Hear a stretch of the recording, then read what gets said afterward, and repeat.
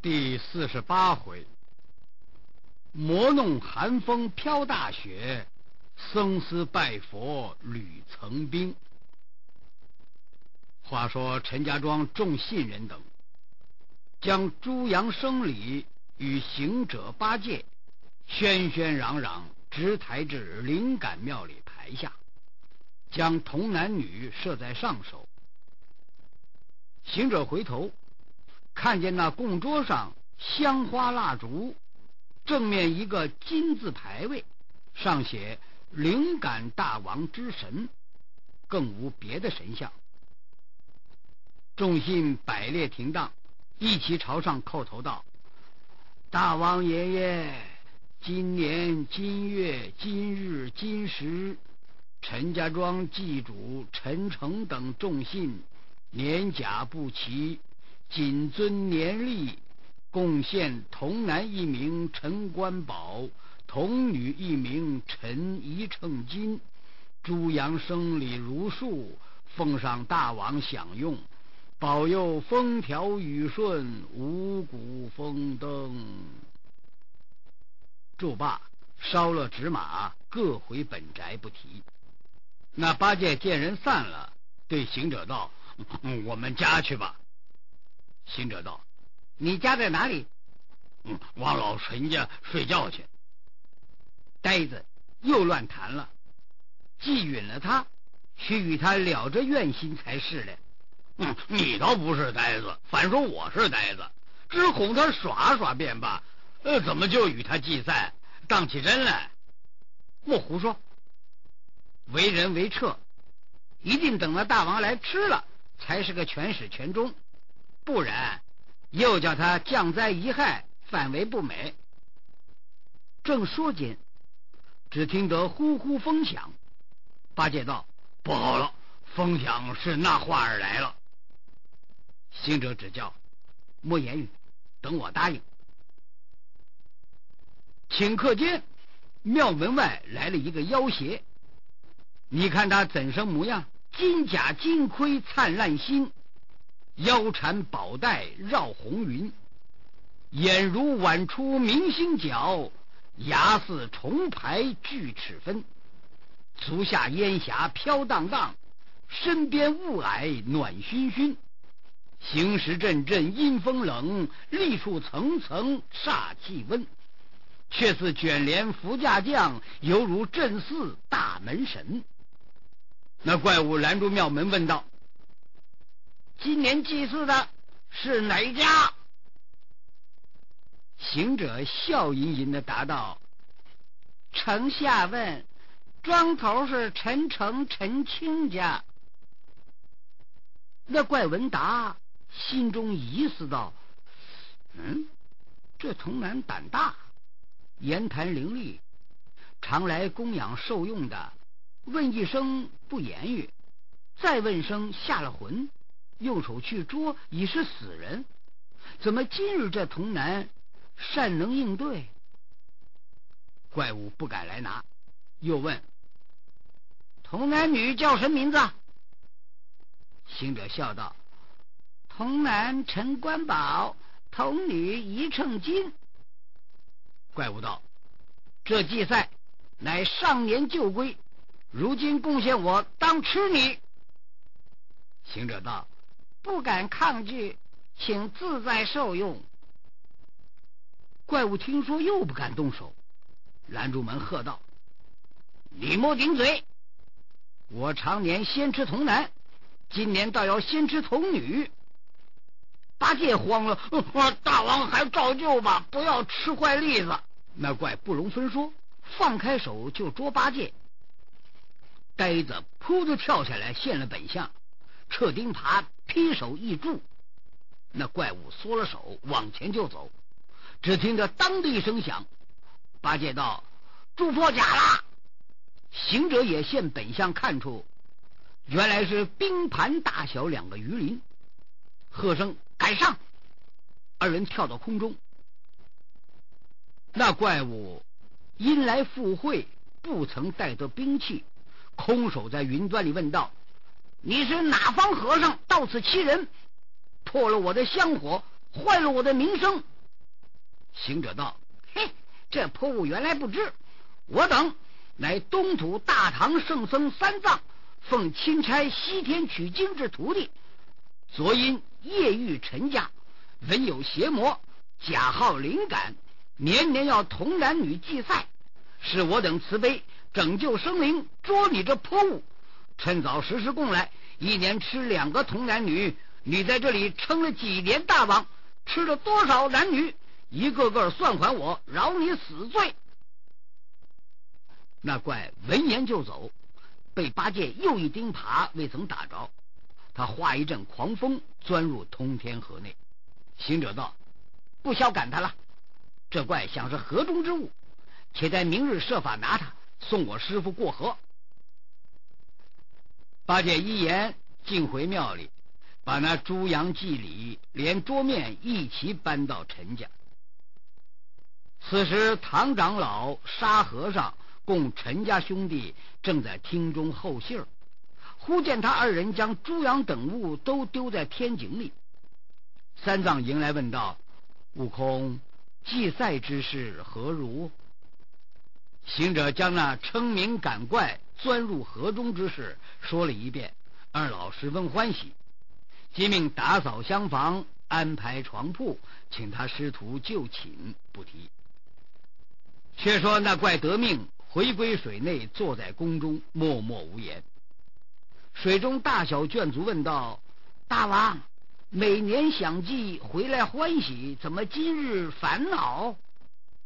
那怪道：“常年想必还带些余物与汝等受用，今日连我也不曾吃得，造化的撞着一个对头，几乎伤了性命。”众水族问：“大王是哪个？”是一个东土大唐圣僧的徒弟，往西天拜佛求经者，假扮男女坐在庙里。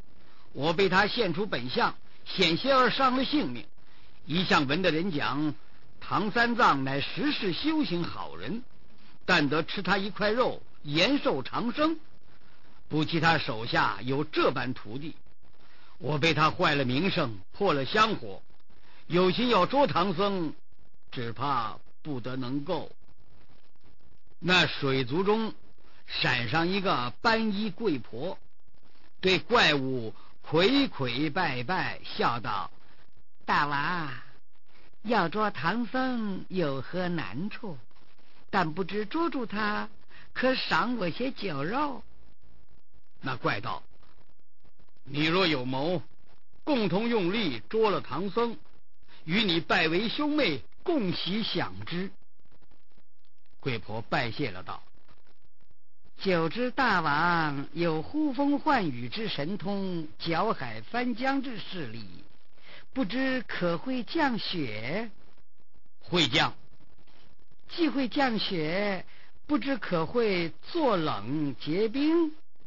更会。”贵婆鼓掌笑道：“如此极易极易。”那怪道：“你且将极易之功讲来，我听。”贵婆道：“今夜有三更天气，大王不必迟疑，趁早做法，起一阵寒风，下一阵大雪，把通天河尽皆冻结。”捉我等善变化者，变作几个人形，在于路口，背包持伞，担担推车，不住的在冰上行走。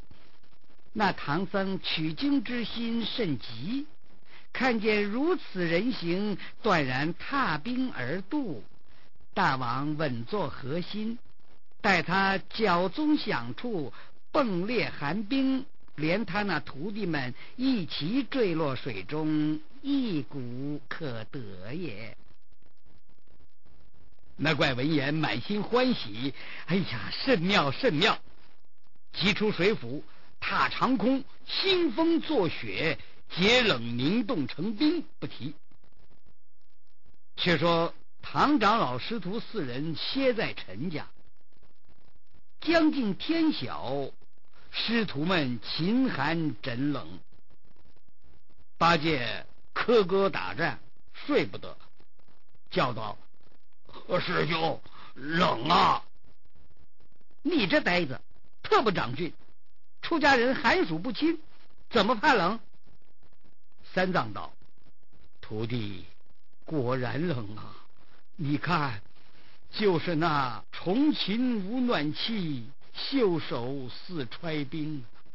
此时败叶垂霜蕊，苍松挂冻龄。地裂阴寒甚，池平为水凝。渔舟不见叟，山寺怎逢僧？”樵子愁柴少，王孙喜炭增。征人须似铁，诗客笔如灵。皮袄犹嫌薄，貂裘尚恨轻。蒲团将老衲，纸帐履魂惊。袖背重阴入，浑身战斗灵啊！师徒们都睡不得，爬起来穿了衣服。开门看出，哎呀，外面白茫茫的，原来下雪了。行者道：“嘿嘿，怪到你们害冷的，却是这般大雪。”四人眼同观看，好雪！但见那彤云密布，惨雾重尽；彤云密布，朔风凛凛，浩空。惨雾重尽，大雪纷纷盖地，真个是六出花，片片飞琼；千林树，株株带玉。须臾积粉，顷刻成岩。白鹰歌诗素，浩鹤羽毛同。平天无处千江水，压倒东南几树梅。却便似战退玉龙三百万。果然如败鳞残甲满天飞，哪里得东郭吕、袁安卧、孙康应读？更不见子由州、王公弼、苏武参战。但只是几家村舍如银器，万里江山似玉团。好雪，柳絮漫桥，梨花盖舍。柳絮漫桥，桥边渔叟挂蓑衣；梨花盖舍，舍下野翁微孤独。客子难沽酒，苍头苦觅梅。洒洒潇潇裁蝶翅，飘飘荡荡剪鹅衣。团团滚滚随风逝，叠叠层层道路迷。阵阵寒微穿小木，飕飕冷气透幽围。丰年祥瑞从天降，堪贺人间好事宜。那场雪纷纷洒洒，果如剪玉飞绵。师徒们探完多时，只见陈家老者着两个童仆扫开道路，又两个送出热汤洗面。须臾，又送滚茶乳饼，又抬出炭火。聚到厢房，师徒们续坐。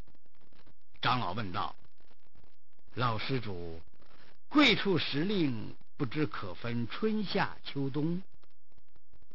陈老笑道：“哈哈哈此间虽是僻地，但指风俗人物与上国不同。至于诸凡古苗牲畜，都是同天共日，岂有不分四时之理呀？”三藏道：“既分四时，怎么如今就有这般大雪，这般寒冷？”陈老道：“呃，此时虽是七月，昨日已交白露，就是八月节了。我这里常年八月间就有霜雪。”三藏道：“哦，甚比我东土不同。我那里交冬节方有之。”正话间，又见童仆来安桌子，请吃粥。粥罢之后，雪比早间又大，须臾平地有二尺来深。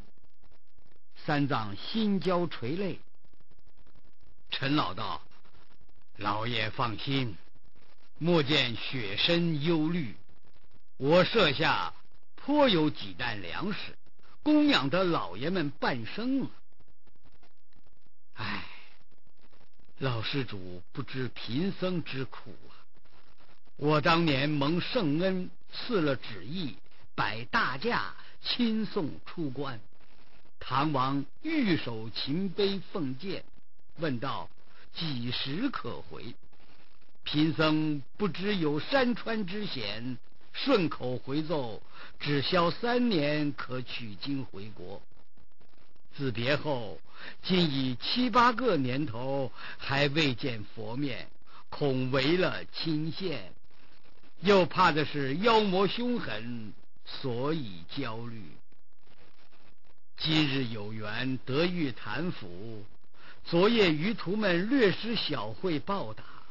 实指望求一船只渡河，唉，不惜天降大雪，道路弥漫，不知几时才得攻城回故土也。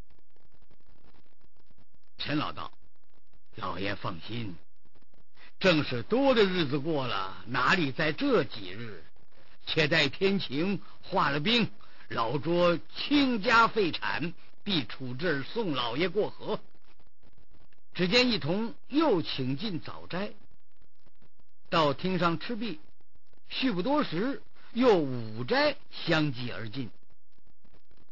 三藏见品物丰盛，再次不安，道：“啊，既蒙见留，只可以家常相待。老爷，敢蒙替济救命之恩，虽逐日设言奉款。”也难酬难谢呀。此后大雪方住，就有人行走。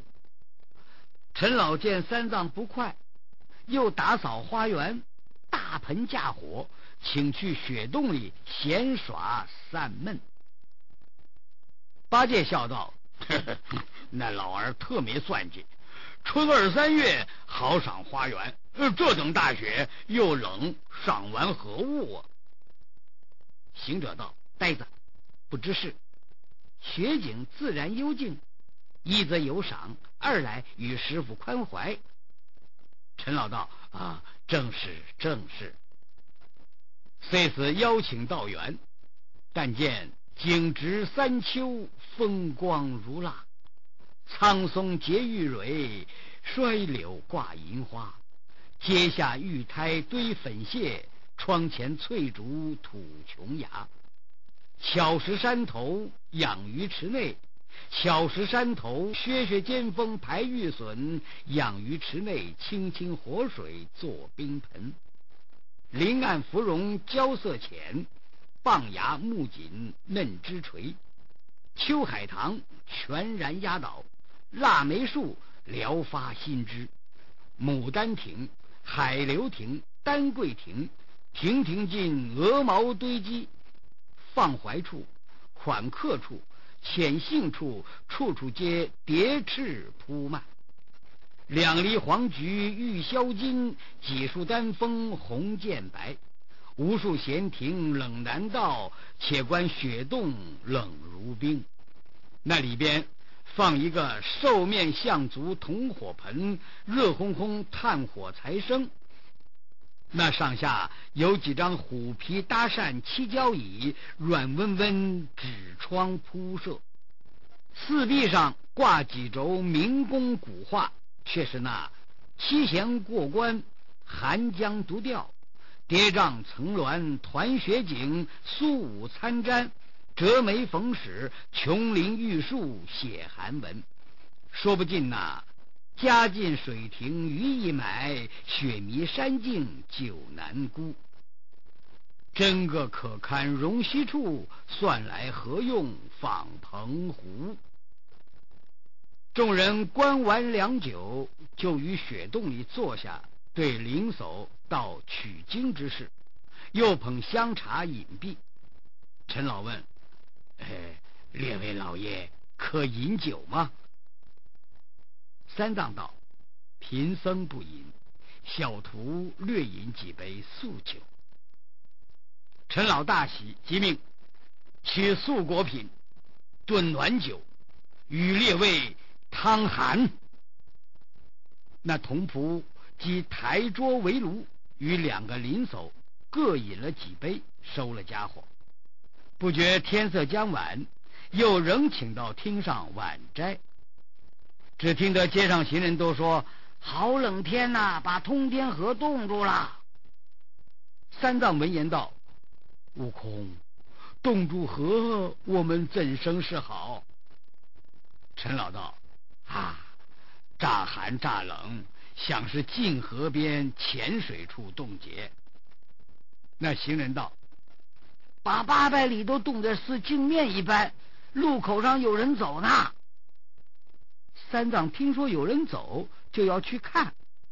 陈老道：“老爷莫忙，今日晚了，明日去看。”遂此别却临走，又晚斋毕。依然歇在厢房。即次日天晓，八戒起来道：“师兄，今夜更冷，想必何冻住也。”三藏迎着门朝天礼拜道：“众位护教大神，弟子一向西来，潜心拜佛，苦历山川，更无一声抱怨。今至于此，感得皇天佑助，结冻河水。”弟子空心全谢，待得金回奏上堂皇，结成酬答。礼拜毕，遂叫悟净备马，趁兵过河。陈老又道：“莫忙，待几日雪融冰解，老拙这里办船相送。”沙僧道：“嘿，就行也不是话，再住也不是话。”口说无凭，耳闻不如眼见。我备了马，且请师傅亲去看看。陈老道，呃，言之有理。呃，小弟们，快去备我们六匹马来，且莫被唐僧老爷马。就有六个小戒跟随，一行人径往河边来看。真个是雪积如山耸，云收破晓晴。寒凝楚塞千峰瘦，冰结江湖一片平。朔风凛凛，滑动冷冷。池鱼微蜜枣，野鸟恋枯茶。塞外征夫俱坠止，江头烧子乱敲牙。猎首府断鸟足，果然冰山千百尺。万壑冷浮银，一川寒尽玉。东方自信出江残，北地果然有蜀库。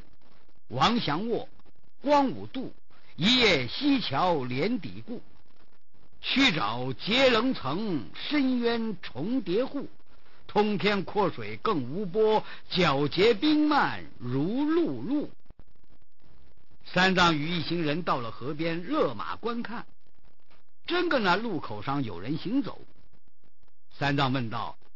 施主，那些人上兵往哪里去？陈老道，啊，河那边乃西凉女国，这起人都是做买卖的。我这边百钱之物，到那边可值万钱；那边百钱之物，到这边亦可值万钱。利重本轻，所以人不顾生死。而去，常年家有五七人一船，或十数人一船，漂洋而过。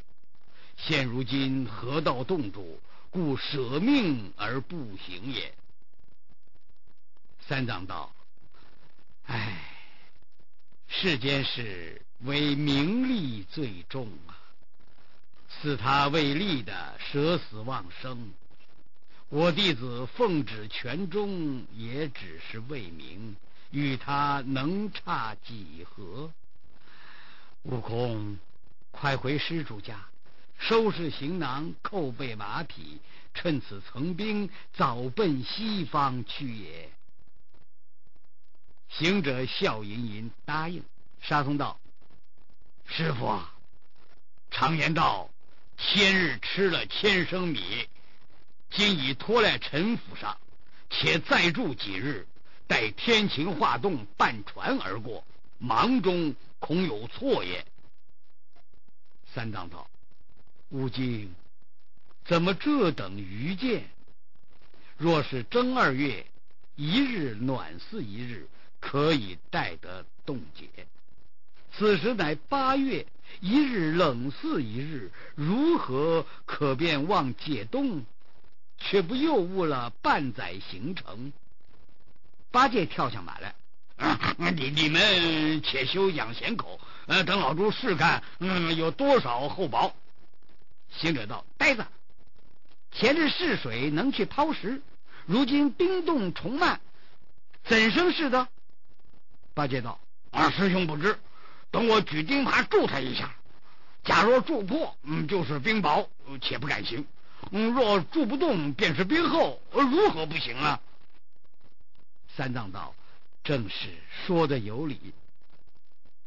那呆子撩衣拽步走上河边，双手举耙，尽力一助，只听“噗”的一声，住了九个白髻，手也震得生疼。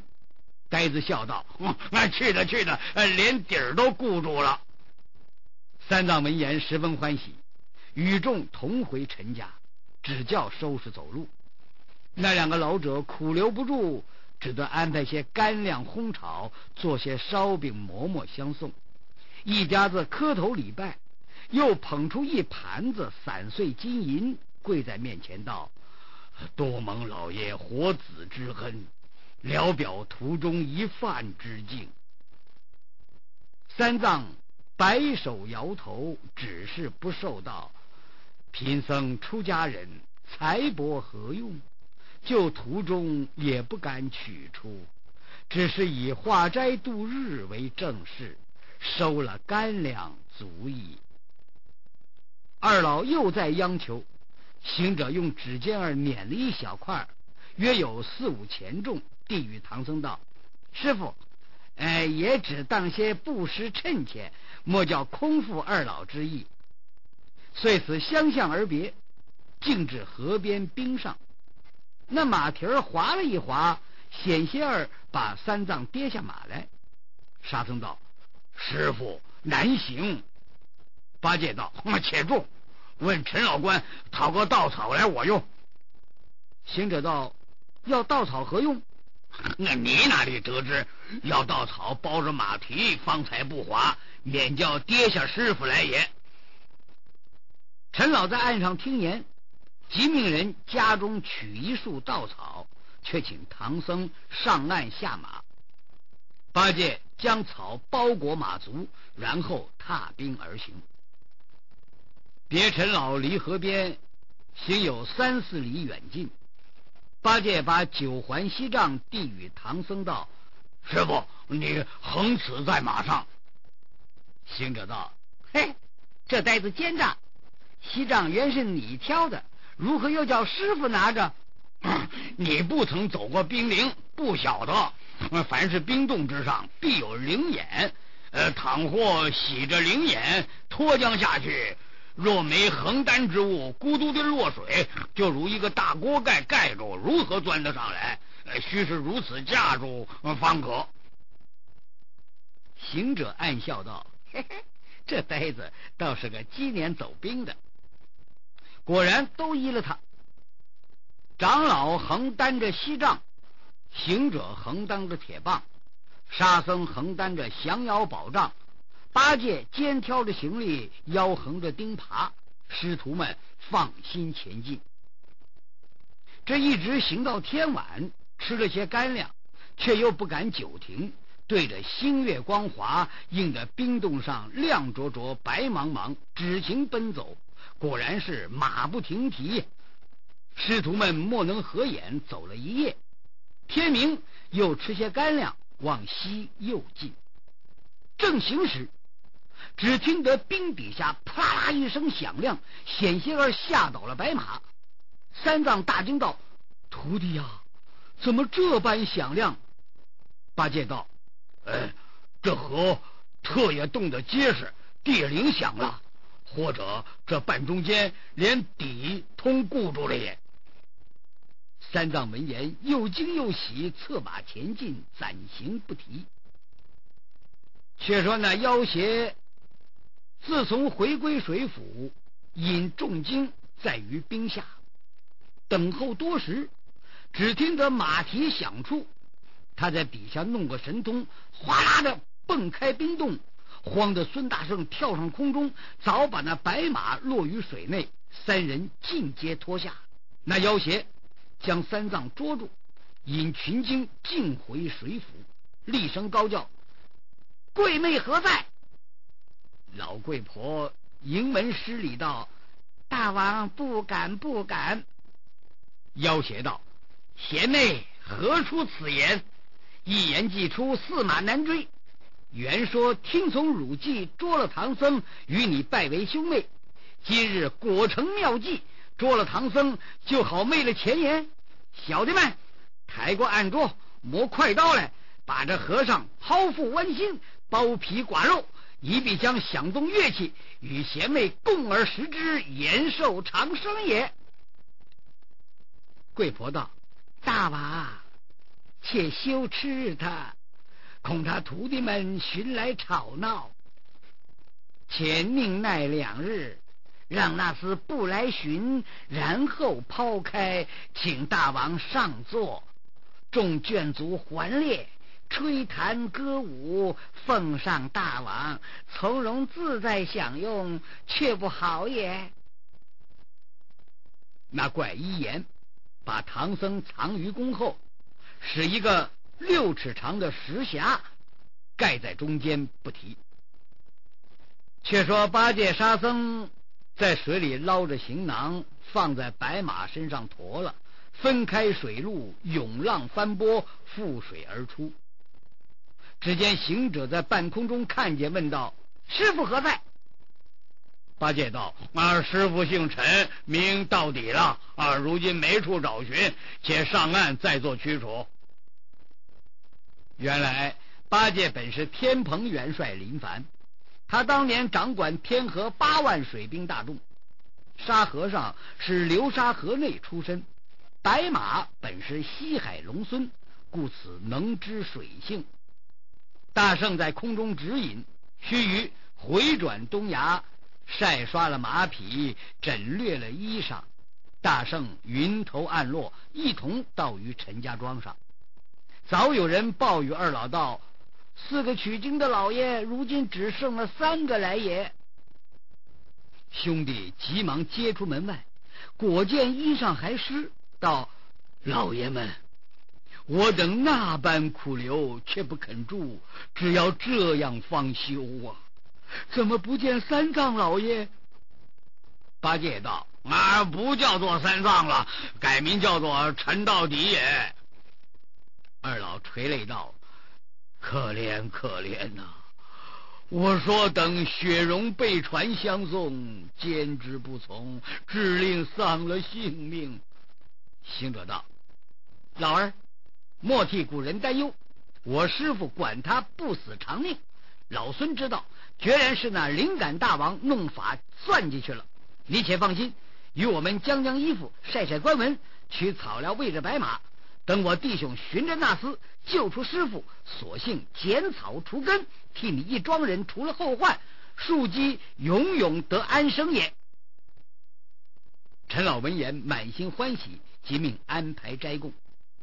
兄弟三人饱餐一顿，将马匹行囊交与陈家看守，各种兵器，径往道边寻尸擒怪。正是误踏层冰伤本性，大丹脱漏怎周全？毕竟不知怎么救的唐僧，且听下回分解。